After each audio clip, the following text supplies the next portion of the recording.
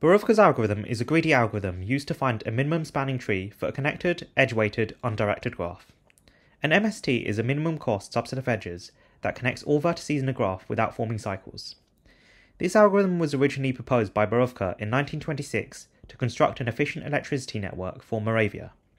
He published many papers on this, such as the one on the right. Borůvka's algorithm has great importance because it was the first algorithm to solve the MST problem in polynomial time. This is significant because it made it realistic to solve the MST for large graphs, which can be applied in the real world. For example, minimizing the length of wires in Europe would reduce the cost of connecting everyone to electricity. The idea behind Borůvka's algorithm is to iteratively find the cheapest edges that connect different components and add them to the MST until there's only one component left. Borůvka's algorithm has a time complexity of O of e log v. The outer while loop runs for log v iterations, as each one reduces the number of components by at least a factor of 2. In each loop, it goes over a component's edges to find its minimum weight connecting edge in O of e time. It then checks the minimum connecting edges and adds them to the MST if they connect two different components, which also takes O of e time. The time complexity is reduced to O of e for planar graphs. Meanwhile, the space complexity for Borůvka's algorithm is O of e plus v. This is because we must keep a list of v components at the start, and track a list of minimum weight connecting edges. Now we'll go through an example. We'll start by creating an MST with all the vertices but no edges. The grey edges represent edges that are in the original graph but not in our MST. At the start, there are 9 components, as each vertex forms its own component.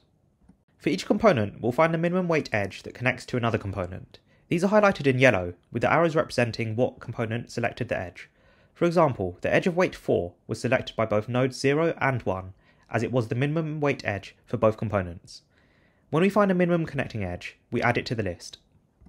Next, we go through each minimum connecting edge and add it to the MST if it connects two different components, as well as adding the edge's weight to the MST cost. Then we merge the components. We've color-coded the graph to grouped nodes in the same component. This shows that the number of components reduced from 9 to 3. We iterate again as there are still multiple components. This results in two minimum connecting edges.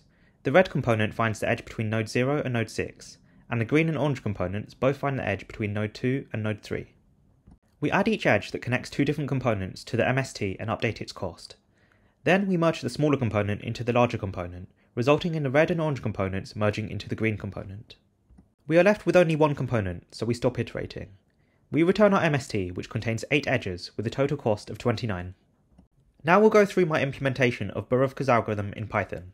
As you can see on the right, I created a graph class to store the vertices and edges for a graph. In this, I created a method for Borůvka's algorithm, shown on the left, which we'll analyse in more detail. The algorithm iterates through a while loop on line 201 until there's only one component left. At the start, it searches for the minimum edge per vertex, calling the method on line 211, which is shown on the right. It iterates through edges and checks whether the edge connects two different components on line 120. If so, it updates the minimum edge if either the component has no edge recorded or if the current edge is shorter than the edge recorded for that component. Continuing with the iteration in the main function on the right, the next step on line 217 is to connect components with the minimum edges that we found. This method can be seen on the left. It iterates through vertices to check for the root of a component. Then on line 165, it gets the minimum edge for that component and checks whether it still connects two different components. If so, it adds the edge to the MST, adds the edge's weight, and merges the smaller component into the larger component. At the end, it decrements the number of components. Now we'll recreate the example from earlier to test our implementation. On the bottom left, you can see that we've created the graph that represents the original graph, shown on the top left. The output of the code can be seen on the right. Our program finds the connect MST with a weight of 29, identical to the one in green that we found earlier. The most obvious application is designing efficient networks for the real world. For example, TfL could use it for the London Underground when they want to add new lines, such as the Elizabeth line. Borůvka's algorithm can also be used as a 2 approximation for the travelling salesperson problem. This is an NP-hard problem, so it cannot be solved in polynomial time.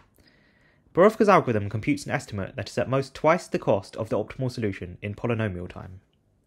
While there are other algorithms like Prim's and Kruskal's to find MSTs, they are sequential in nature.